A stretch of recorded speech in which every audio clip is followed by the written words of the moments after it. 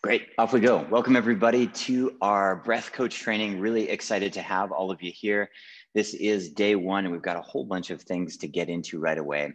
Before we jump into the course, before we jump into nuts and bolts and administrative stuff, let's just pause for a moment and let me rewind the clock and set the stage for why I do this, because each of you needs to figure out your motivation and your end goal.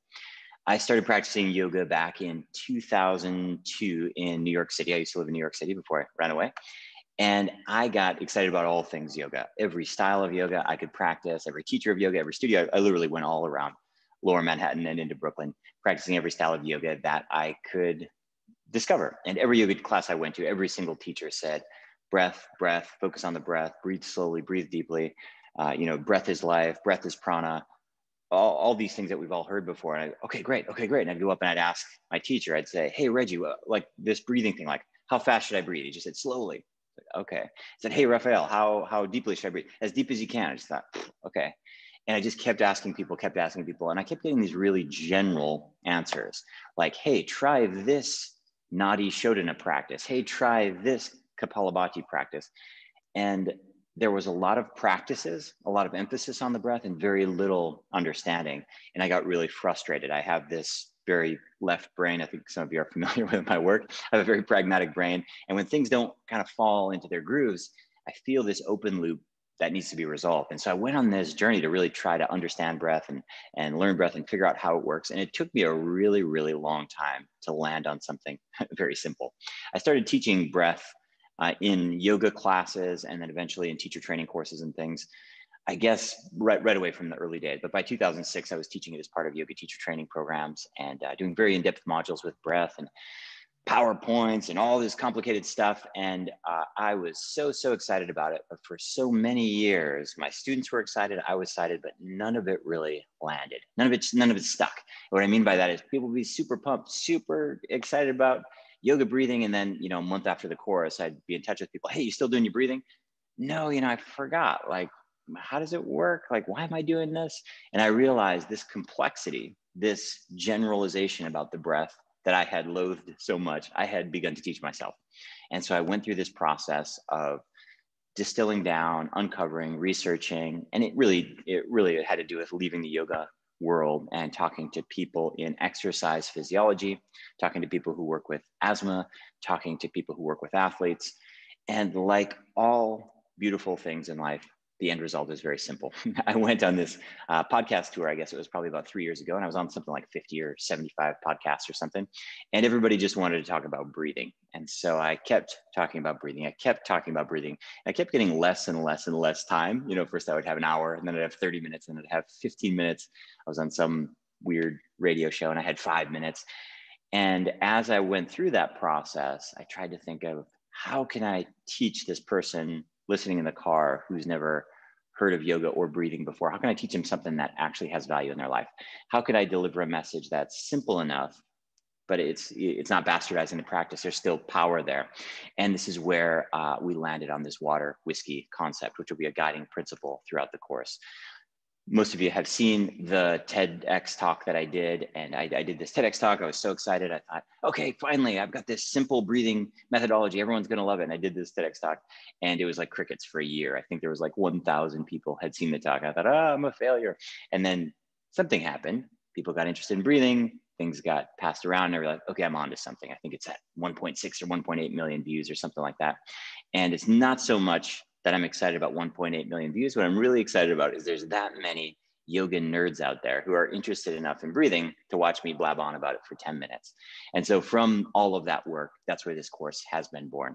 Um, like, you know, like I said, I've been teaching yoga breathing professionally in training settings since like 2006-ish. But this current iteration, I'm convinced is, well, I have evidence of, you know, we have hundreds of graduates now. I have evidence that it's much more powerful, much more effective and really provides a service to your clients. It's very easy in the world of mind, body, wellness, meditation, alternative health to get lost in complexity. And things are all so exciting and so positive, and yet not always that practical. This approach that we're that I'll lead you through is hyper practical. In fact, sometimes it's so practical, you'll think, Lucas, can we just like lie on the floor and zone out for a little bit? It's extremely focused on your client's results As I mentioned in the post in Telegram yesterday, this particular course has just one focus, help our clients manage their nervous system. And if you keep that in mind, all of the work we're doing, the practice teaching, the practices, the simplicity, the anatomy, the physiology, understanding all the science, the O2, CO2 exchange, all of it will start to make sense. Our main goal here is to help our clients manage their nervous systems. Full stop, that's it. There's lots of other yoga breathing out there that has other purposes. There's, there's yoga breathing practices that are designed to release trauma. There's yoga breathing practices that are designed to take you to an ethereal out of body experience. Cool. That's not what we're doing here. Those practices have their place. What we're doing here is one single pointed goal is to help our clients balance their nervous systems, help them get control over their nervous systems. And what you'll find is as a teacher, as a service provider, as eventually as a business person, as a coach, this is where the most value is. Things like experiential classes we go to once a year, once in a lifetime, once every couple of years. But when we talk about a class that helps us balance our nervous system, this is something that we can really serve our clients with long term. From a practical standpoint, from a problem solving standpoint, from a need and service based provider standpoint, this approach is really, really practical. So that's what we'll get into here. Okay, let's take a step back and chat about logistics. We're here for 12 days together. We go live uh, at this time pretty much every day on the weekend, on Saturday and Sunday, I usually change the time to try to catch some of our, our students who are in Southeast Asia, Australia, Japan. And, but most days, I'll let you know in advance, but most days we're live at this exact same time. Time zones are all funny. Please don't email or post in the Telegram group. Just either Google search, what time is it in Barcelona? And you can match up. Or I like world timebuddy.com. It's a really simple website. I think I use it every single day to try to figure out what time zones are. And so we're live. Uh, there's my clock back there. We're live at uh, 3 p.m. Barcelona time, all the way through Friday. Saturday, Sunday will change for the for our folks who are way far away from us. But uh, the following week will be live at the same time. So we go all the way through for 12 days and we'll meet every day here for about an hour and then i'll do q&a separately. But i'll let you know when i'm doing the q&a so that those of you who need to bounce can bounce and you can catch the q&a or not. I would like to mention that some of you have already made your way through the e-learning center. Amazing. Some of you have done the entire course already. Also amazing. A lot of people say lucas you're talking about the same things and this is true. All of what i'll be chatting about is covered in the e-learning center. We started incorporating live elements into pretty much everything we do because we find people learn better that way. I find I learn better that way. It also gives us an opportunity to add in new research, answer questions on the fly. We're, we're always growing and adapting all of our courses and the live element really adds to that. The reason I mention this is because for those of you who are unable or you feel like you've already done it, all of these tools are just here for you to pull from. We have 12 days, 12 modules, and you work through them however works for you.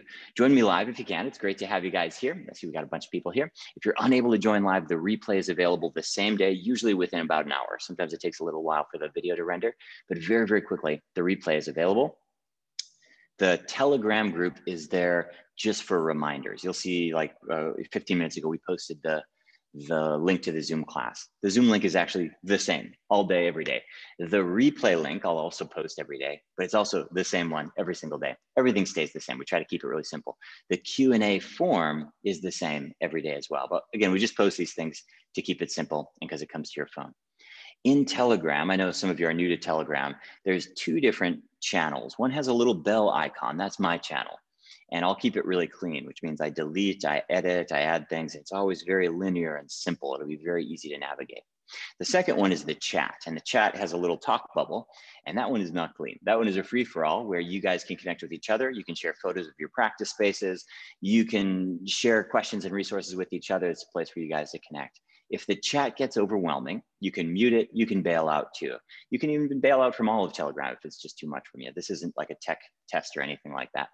Um, all of these tools are just here to help you. And again, as the course has grown, we found that this is a really, really simple way to communicate. I know a bunch of you have done our other courses and you are familiar with Telegram, so you can point people in the right direction. How it rolls out here is we'll do an hour uh, a day and we'll start off all of our days with a practice. We'll jump into a lecture and then we'll finish with practice teaching. How practice teaching goes is I'll I'll shoot you off into little breakout rooms. Don't worry about it. You don't have to actually do anything. And you'll be with two or four other people and you'll practice today's lesson speaking directly into your phone or your computer so you can get on the ground experience, which is absolutely crucial.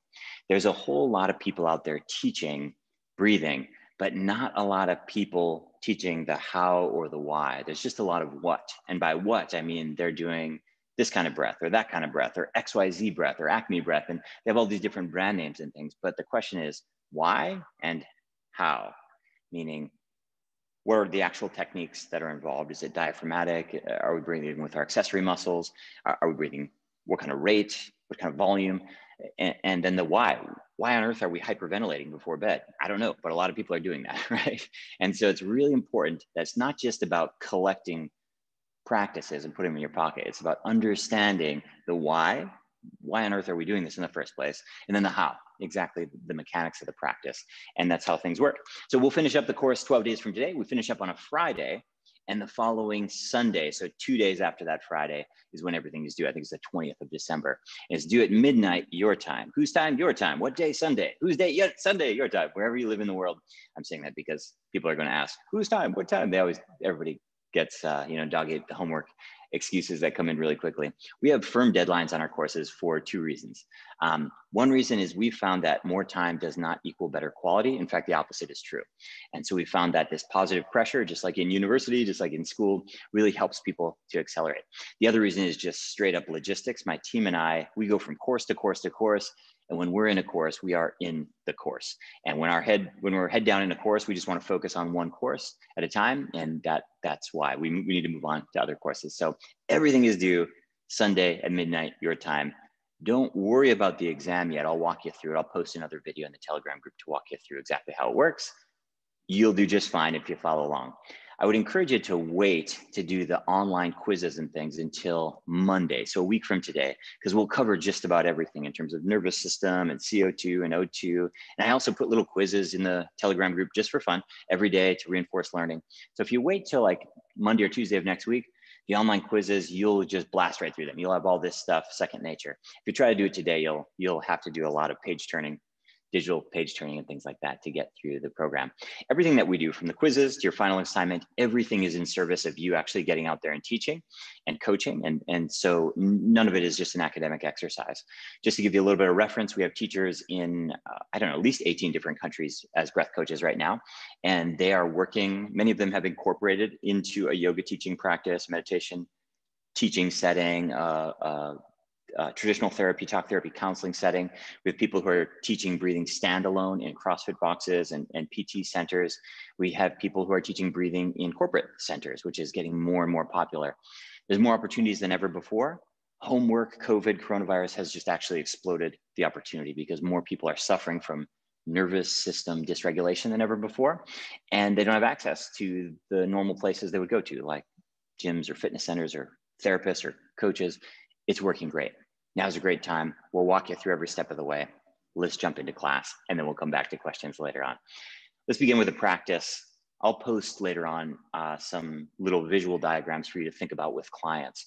But the first thing to remember is that there is no such thing as perfect posture, not for meditation, not for yoga, and certainly not for breathing. So you use whatever posture works for you. You can see I've got this little setup back here just to give you a, a little reference what could we do? Well, we could sit cross-legged, totally fine. My hips are relatively open, so this is very comfortable for me. For most of your clients, it won't be. And so they could sit on a block or another block to get up higher. Maybe a pillow is more comfortable. What we're aiming for when we block up is to get our knees more or less in line with our hips. This is a circulation thing. When my knees are up here, they'll start to tingle and fall asleep, and my lower back will hurt as I'm going up, I'm just trying to get my knees in line. Now, if we're at two, three blocks and it's still not working, sit in a chair, sit in a stool, but sit on the edge of the chair or the stool so your back is not into the stool. Totally, totally fine. We'll also be practicing supine poses, and many of the poses can be done supine on your back. And there is absolutely nothing beginner or advanced about sitting in a chair or sitting on the floor or taking lotus pose it doesn't change anything. it's equally hard to sit focused on a chair as it is to sit on the floor. In fact, maybe it's harder to sit focused on a chair. We'll begin with breath of fire, which is a practice that you guys did this morning. So if you can, if you guys can, just step away from your, your laptop, your computer. If you need to, just sit down on the floor, even if you go off camera, don't worry. Some of you have camera on, some camera off, don't, don't worry about it. Take a seat on the floor, cross your legs or take a seat on a chair and move your bum away from the back of the chair and place your hands on your knees. Here's the deal with breath of fire. This is actually a Kriya practice. I'm showing you from the side because I want you to relax your belly completely. In order to do that, very often we need to slightly slouch our back. Lucas, you're not sitting up straight. Well, I could, but when I do that, I engage my core a little bit and the breathing practice doesn't work. So instead, we'll slightly slouch just a little bit. This practice called breath of fire or Kapalabhati breath in Sanskrit. These Sanskrit names are, are, I haven't found them to be very useful. So I just use the English or whatever language you're teaching in Spanish. We have a different set of vocab, obviously. Uh, this practice originally comes, it was first codified in the Hatha Pradipika, which was kind of the first yoga book. And it's actually a Kriya, a cleansing practice. And it's a weird one because it's a totally backwards way of breathing. What do I mean by that? That means when we exhale, we do it forcibly and we don't use our normal breathing muscles, we use our abdominal muscles. And the way to think about it is imagine someone kicked a football and it came right into your stomach and you go, and then you relax, and then you relax.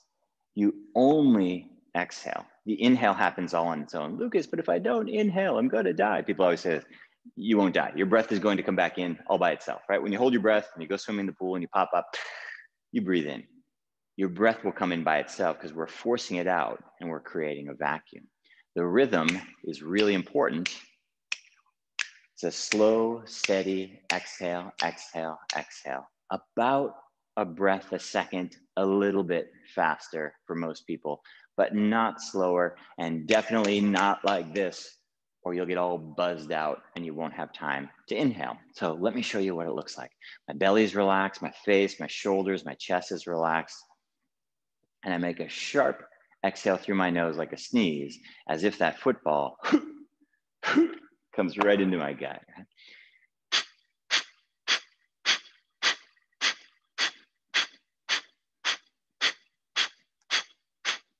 I'm doing my best to keep my face relaxed it doesn't work, right? My big old nostrils are flaring in this guy, but I'm trying my best to relax my face, trying my best to relax my chest as well, and trying to make all the work happen down here. It's hard, it's unusual, it's a weird way to breathe. Nobody does this well right out of the gate. In fact, many people have been teaching this for years and they also don't do it well. They've never analyzed it. It's a funky, weird breathing practice. We're using our abdominal muscles to squish our abdominal cavity and force the breath out, and then the breath comes back in. As I mentioned this morning when we did this practice, it's a stimulating practice. It cranks up your sympathetic nervous system, your, your fight or flight response.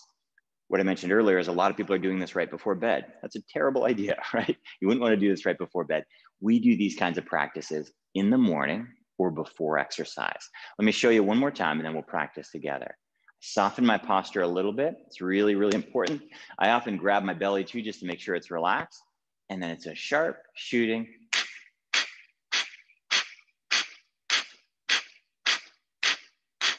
Good. And we usually do 20 rounds, and we usually practice three rounds of 20. Let's practice one round together. We'll jump into today's class. Hands around your knees, sit up tall, and now deliberately relax a little bit. If you don't, I promise you, you'll sit up too tall. We all try to do this like impressive yogi stance. Soften your shoulders a little bit. Okay.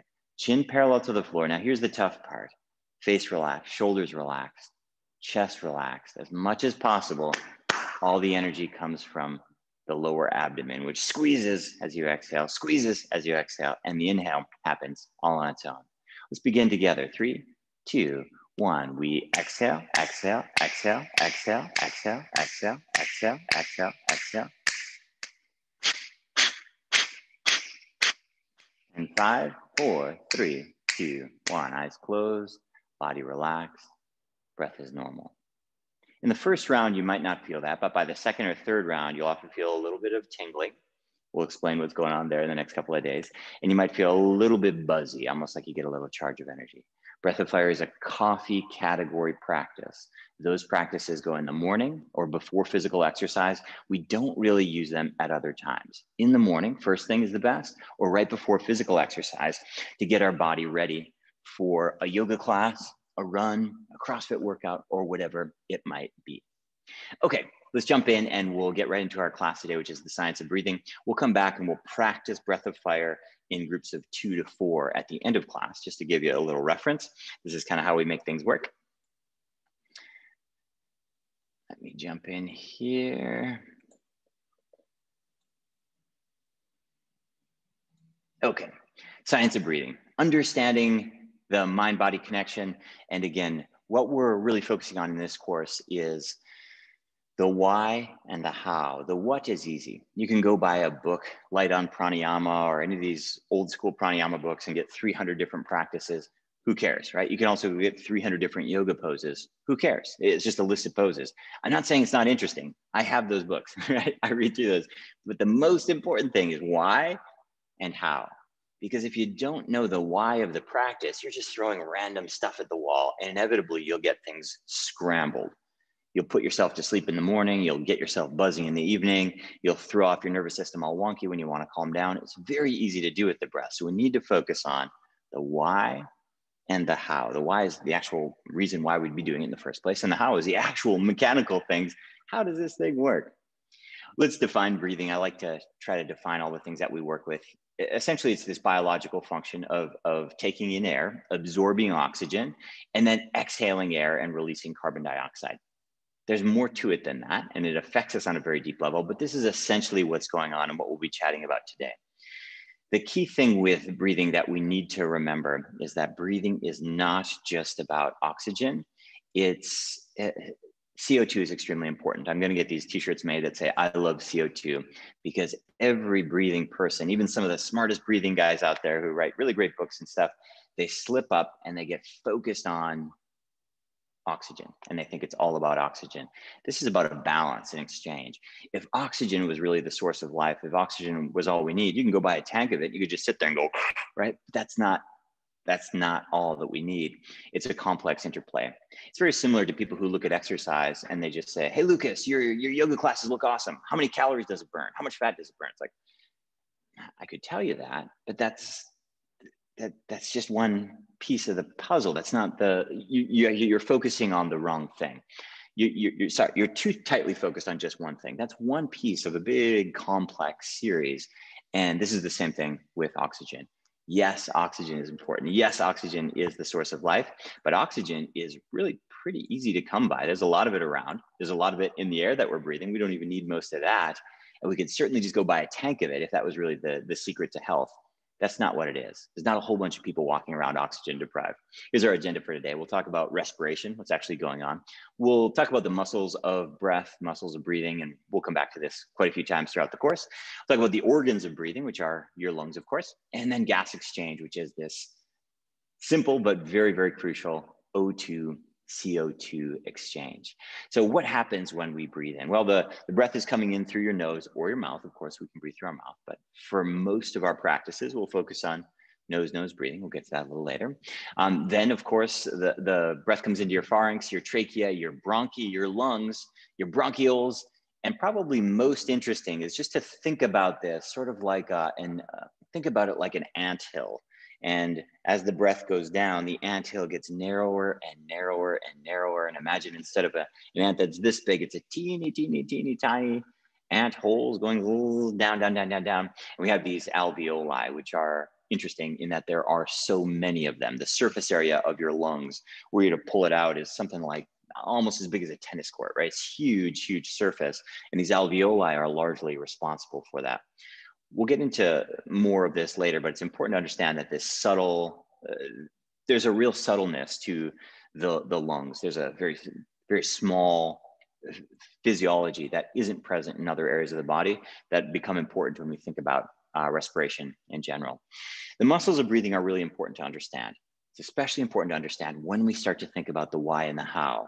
The how of breath of fire, we just breathe with our non breathing muscles, right? We just manually breathed ourselves. If you were lying on the floor and a, a CPR, uh, a medic came over to you and he or she manually had you breathe, what would they do? I, I know a bunch of you had CPR training, I'm sure. They put their hands in, you know, one, two, three. That would breathe you, but you're not using your muscles. You're not using your respiratory muscles. You're being breathed externally. You might have, uh, you might be on a ventilator, a respirator. Uh, you might just be squished, right? Maybe some, you maybe you're eight years old and you're playing in the playground. Some kid dogpile you, and you, you know, your breath comes out. What we just did there with Breath of Fire, we didn't use our breathing muscles. We were breathing in a very unusual way. And let's take a look at what breathing muscles actually look like. You have your diaphragm, which I like to think of as a jellyfish. And the reason I like to think about it as a jellyfish is because that jellyfish contracts down and relaxes up contracts down and relaxes up.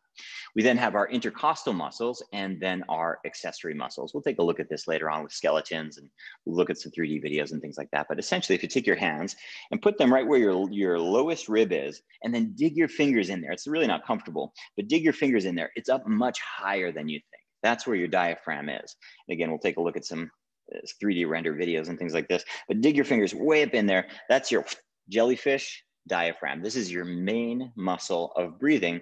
And again, the reason I call it a jellyfish is because it contracts down like a jellyfish swimming and relaxes up. Contracts down, creates a volume, uh, creates a vacuum, and relaxes up. Inhale, exhale. Inhale, active. Exhale, passive. Inhale, contracts. Exhale, relax. Number one, diaphragm. Big, big, important breathing muscle. A lot of us have weak and tight diaphragms, just like a lot of muscles in the body get weak and tight, your breathing muscles can get weak as well. You get stronger breathing muscles from breathing practice. This is good. What's next? Take your fingers and dig them in between your ribs. If you've ever seen, like, if you've ever been to like a Texas barbecue, I have not, but so I have heard that te- I've only been to Texas a few times.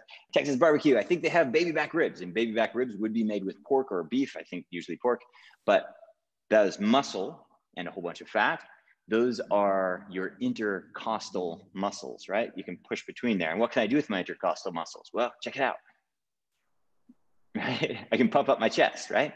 And so when those muscles contract, I also create more space. So that's phase number two of a three phase yogic breath. What's the last part? Well, they're called your accessory muscles because they're not main breathing muscles, but they're accessory muscles, the muscles of my chest, my shoulders, my upper back, because I can right? I can pull in a little bit more air there too, as well.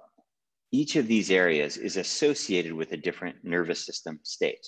What do I mean by that? Well, let's imagine you walked into the, the grocery store and there's somebody at the counter going, and make you pretty nervous, right? Let's imagine you walked into a, um, a, a, I don't know, there was a car accident. You see somebody sitting over on the side and they're relaxed and their belly, their bellies are sticking out and they're breathing deep into their belly, and you go, hmm, that's peculiar.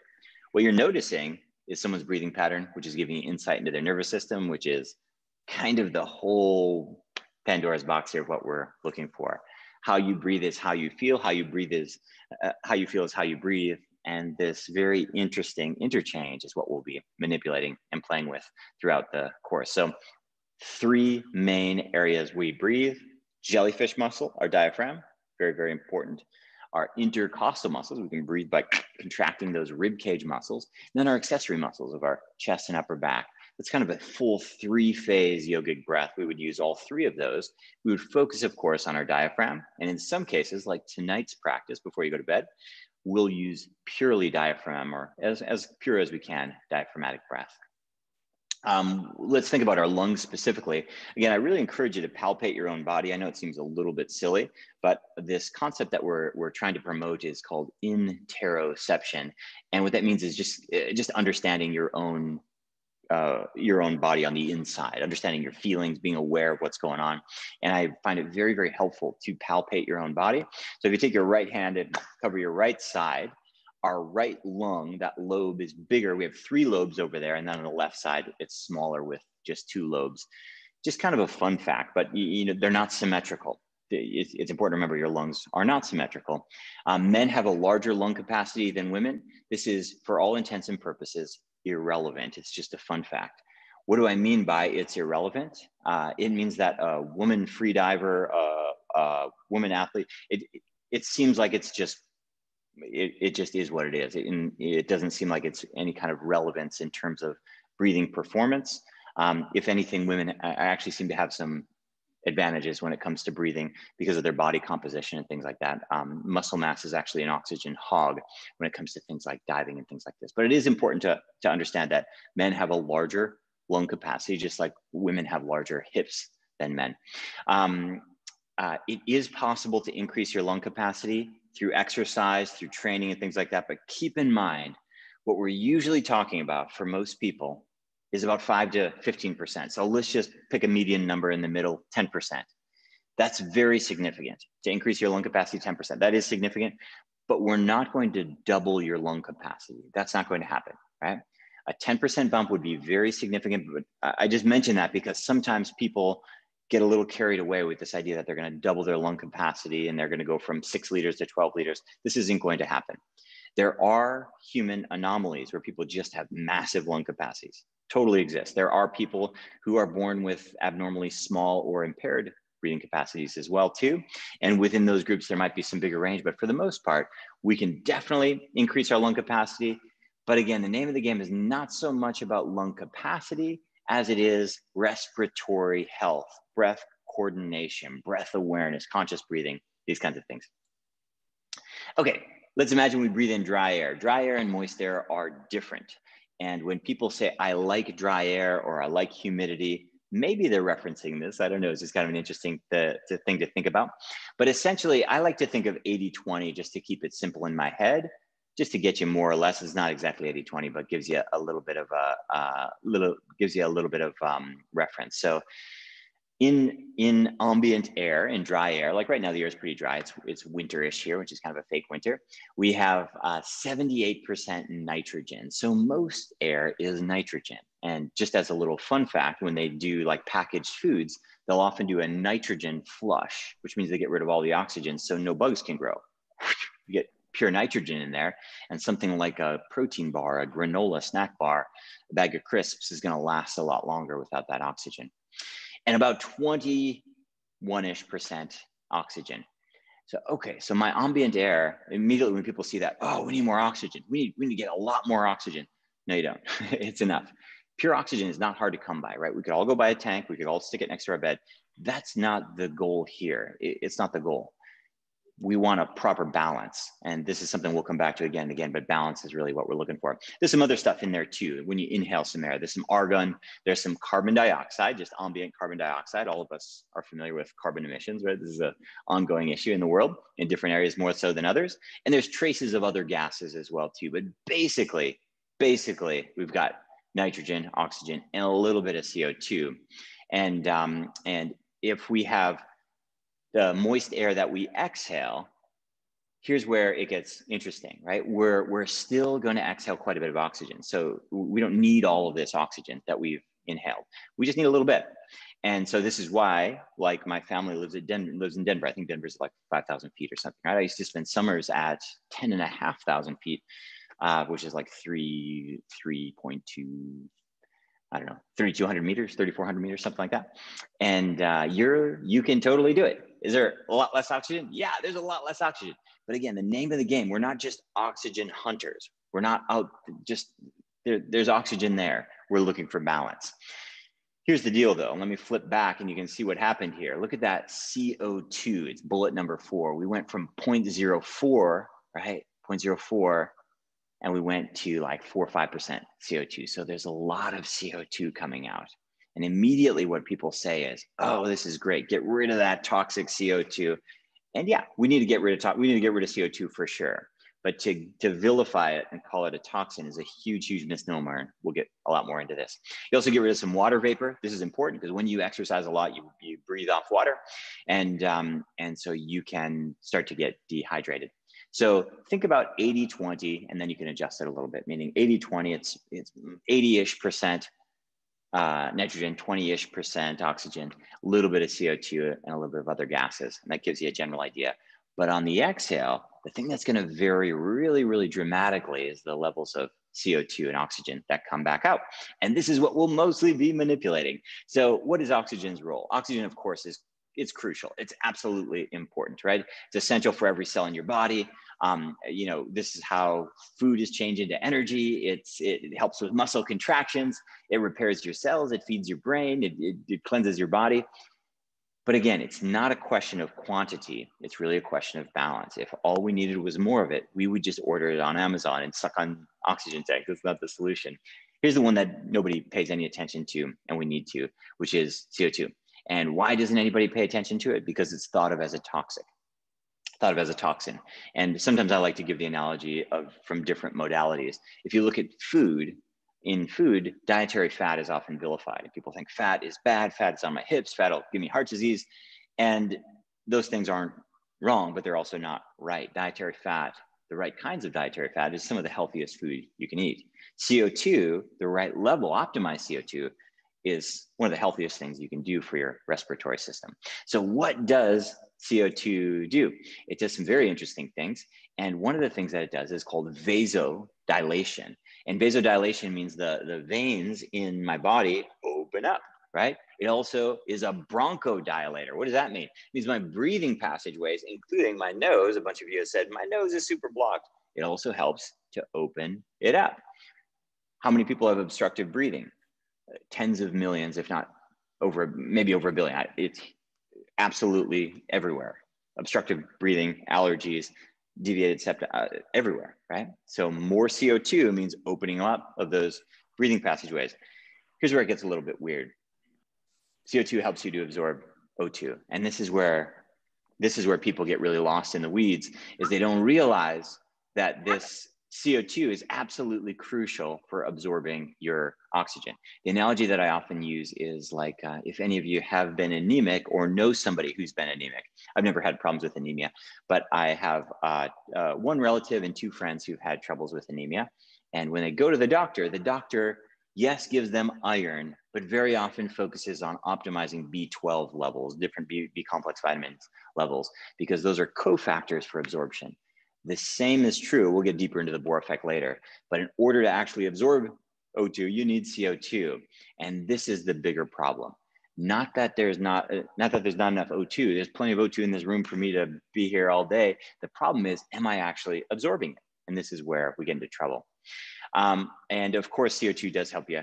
Uh, it does help you get rid of waste as well too. So what we're really looking for is a good balance here. And this, uh, the, the analogy I always use is like a yin yang symbol. As cliche and overused, as, as trite as it is, it's really, really true. This is what we're looking for balance. We need oxygen. Oxygen is good. We need a carbon dioxide that's also good. And the proper exchange is what we're looking for. Okay, so that's really general, Lucas. What are we talking about? Well, what we're talking about is most people, most of the time, breathe too fast most people, most of the time, breathe too high. So they're breathing mostly up here with their intercostal and their accessory muscles, and they're breathing too quickly, which means they're getting plenty, plenty, plenty of oxygen, but not enough CO2, which means they're tweaking out their nervous system. They have vasoconstriction, bronchoconstriction, and a whole bunch of other challenges that come up. In a nutshell, this is what's going on. If you walk on the street, you go in the store, wherever, you'll mostly find people who are breathing too fast and too high. Too fast and too high the majority of what we're doing with yoga breathing is trying to normalize things, trying to get back to a healthy exchange between the two. And we'll really define that in a very clear way. So we'll get a lot deeper into the Bohr effect. We'll talk about the nasal cycle. We're going to get a lot more into ex- the, the, the actual physiology of breath as the days go on. But your key learning from today, the takeaway is number one is that breathing is complex and dynamic. This is not a course about oxygen most of you, almost all of you, if we were to put a blood oximeter, I have one here, I'll show you tomorrow. If we were to put a blood oximeter on you, most of you have perfect blood oxygen 95, 97, 99% blood oxygen saturation. That's not the issue. If we go on the street, even there's a whole bunch of college kids out here smoking right now, even their blood oxygen level, it's totally fine. That's not the issue here. The issue here is balance, nervous system balance. And remember, our core goal with this program is to help our clients balance their nervous system. And that is not about pumping them full of oxygen. Most of them have access to that 21 ish percent oxygen floating around in the air all the time. They just need to learn how to capture it in a way that doesn't tweak out their body. Nose is for breathing and mouth is for eating. This is a good axiom We break this rule in yoga. We break this rule in Pilates. We break this rule when we go running. We break this rule in gravity yoga. But for most intents and purposes, nose is for breathing and mouth is for eating. With clients who have obstructive breathing, we also break this rule. We'll get into this because I know some of you are dealing with that as well too. And if you are, if you have a deviated septum, if you have chronic allergies, if you just have obstructive breathing, please don't think there's anything broken about you. There's just different people. In the same way people have different spines, people have different breathing passageways. There are absolutely ways to work around it, and we'll get into it. O2 and CO2 are really important. Yoga breathing doesn't matter what brand you're talking about, whether you're talking about Iyengar, Wim Hof, or Buteyko, or, or it, it doesn't matter. The main thing you're doing is manipulating CO2. That's the main thing you're doing. And by affecting CO2, that's mainly what you're playing with. And that's why I want to get these someday I'll get I'll get them soon, I promise. I love CO2 shirts because mostly what we're doing with yoga breathing is CO2. And mostly what people are focusing on is O2. The O2 is part of the equation. Of course, it's crucial. Of course, it's a high leverage point, but it's not where we should be putting our focus because that's not the main mechanism of action. Remember, there's a lot of practices that will show you what to do, just throw things at the wall. We want to focus on the why we're doing it and specifically how so that the results are there so that people help get control over their nervous system. Um, here's what happens next, guys. I'm going to split you off into rooms. And so, for those of you who are at work and you're watching this and you're supposed to be working, or for those of you who are unable to do practice teaching, now would be a time to sign off. For the next 15 ish minutes, I'll put you into breakout rooms. You don't have to do anything, I'll just throw you in there. When you get into the breakout room, you'll have somewhere between two and four partners. And here's what you say to your partners Hey, it's Lucas. I'm in Barcelona. Let me do breath of fire. I'll teach you first. I'll do one round of 20 and then you go, and then you go, and then you go. You'll be tempted to do big, long intros. Please connect with each other offline, well, online, but outside of the, the lecture, just so you have enough time to practice. You'll get to know each other a lot better. When I put you in a breakout room, again, just unmute yourself. Hey, it's Lucas. I'm in Barcelona. Let me go first. I'll do 20 rounds of breath of fire. Teacher, student, and then you switch and switch and switch. This is a hard one to teach, and right away, you're going to be confronted with the fact that clapping is Snapping is awkward and counting is difficult and keeping the rhythm is awkward. This is totally fine. Let's stumble through this together. Let's find your way together. I can't tell you how many people have been teaching yoga for a million years and they try to teach breath of fire and they go all sideways with the counting. Don't worry, we all do it. Just stumble through it, and this process is how you'll learn. So I'll pop you into groups. If you get stuck in a group with nobody there, raise your hand, and I'll come and find you, and then we'll all come back before we jump into Q and A. Give me just one second.